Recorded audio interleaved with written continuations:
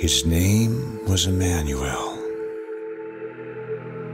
And for centuries, the people of Israel longed for his coming. He came.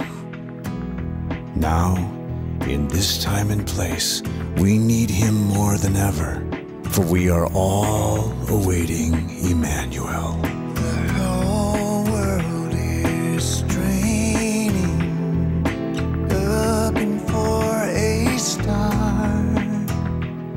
This year, experience all the warmth and beauty of the Christmas story you love, told in a way you've never heard or seen before.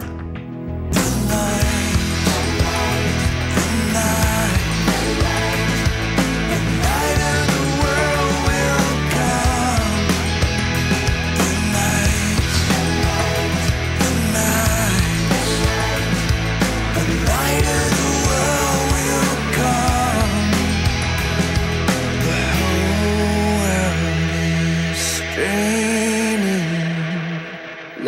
Looking for a star. Awaiting Emmanuel.